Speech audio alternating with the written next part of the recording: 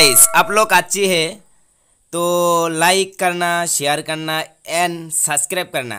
जो बुराई लगे तो सब्सक्राइब शेयर करना। सो so गाइस वीडियो को इतना शेयर करो, इतना शेयर करो वायरल होना चाहिए।